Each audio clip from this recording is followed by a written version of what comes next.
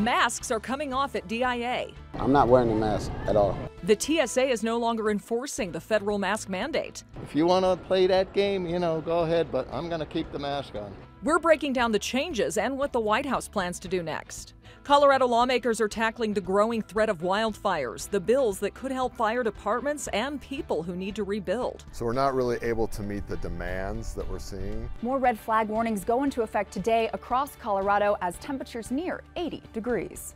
Plus, the Nuggets are winless in their playoff series against the Warriors. Now they need to rebound as the series comes to Denver. Thing that jumps out to me after two games is our inability to sustain playing at a high level. And we want to get to some breaking news right now. At 11, charges against Barry Morphew have been dismissed. He was supposed to go to trial next week for killing his wife, Suzanne, but a judge just accepted the prosecution's motion to dismiss the charges less than a half hour ago.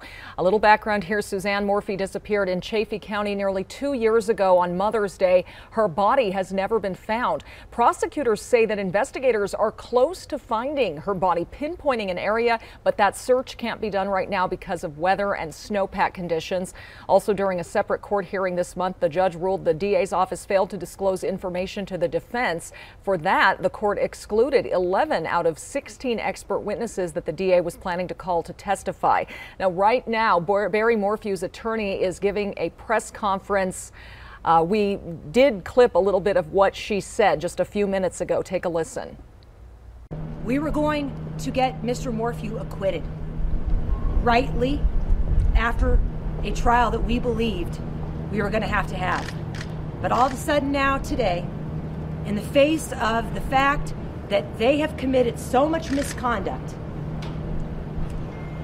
they decided to dismiss the case claiming that there is a body that they're close to finding up in the mountains that, it, that are snow covered by uh, nearby where Mr. Morphew's house was. We have not seen any indication in any of the discovery that we've been given, which has been terabytes and terabytes of information.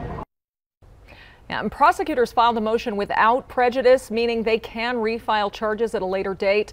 We'll have much more on this developing story throughout the day, starting on the Denver 7 News app at 4 p.m. And more breaking news right now. You might see some smoke in the Denver area. Air Tracker 7 is flying over a fire near 46th and Tennyson. You can see heavy smoke over the area. Denver Fire says firefighters got everyone out of that building safely and there are no injuries. But again, you might see some smoke.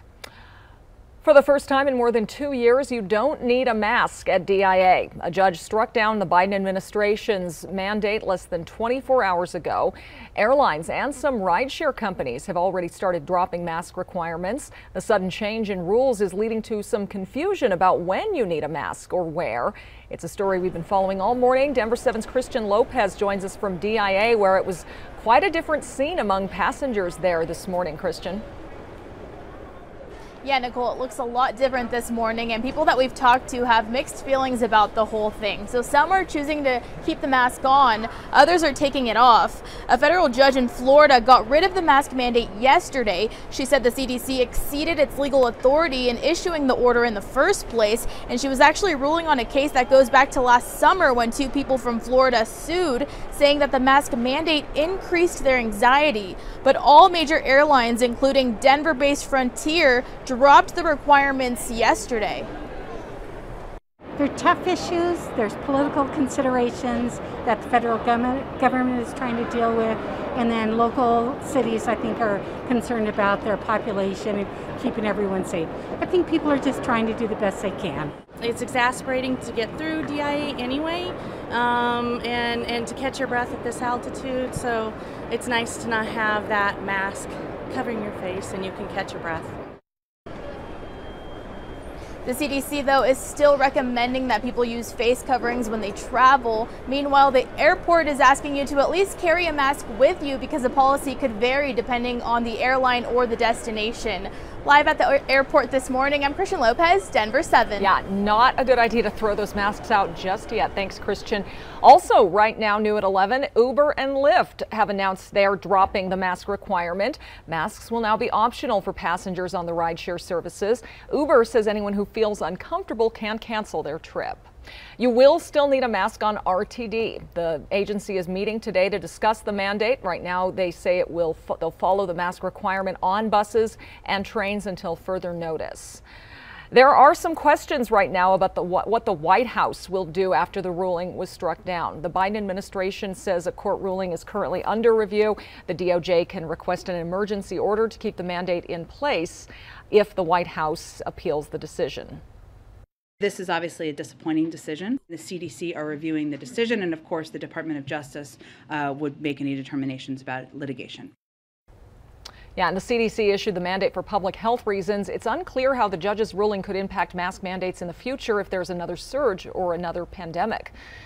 It can be hard to keep track of the various changes with masks. If you're confused about where you still need one, go to thedenverchannel.com or download the free Denver 7 Plus app to your streaming device.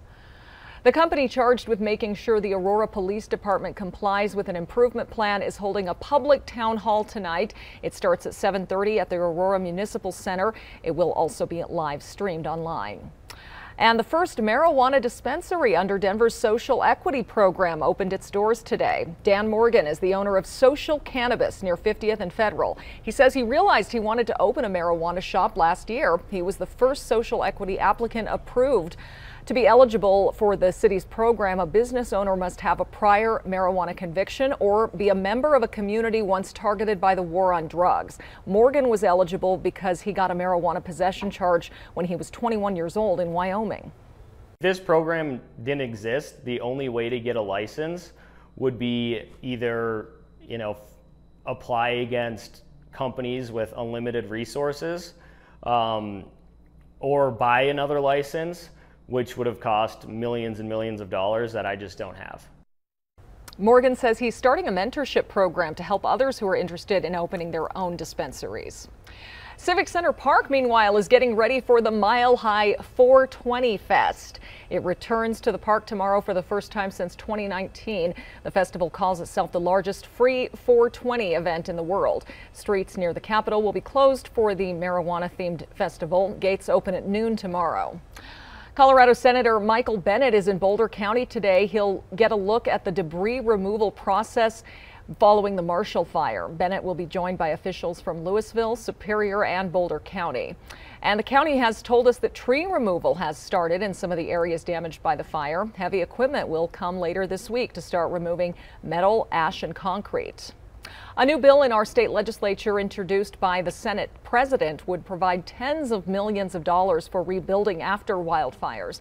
It would also create an office to consider long-term disaster preparedness. It would provide money to residents, businesses, and governments that were underinsured as well. The bill is retroactive as well, meaning if it passes, people affected by the Marshall Fire would be able to apply for the funding.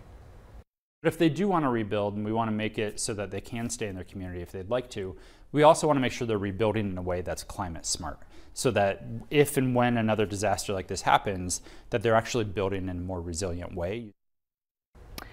And two bipartisan bills would help fire departments across Colorado. One would give $5 million for better equipment and more training.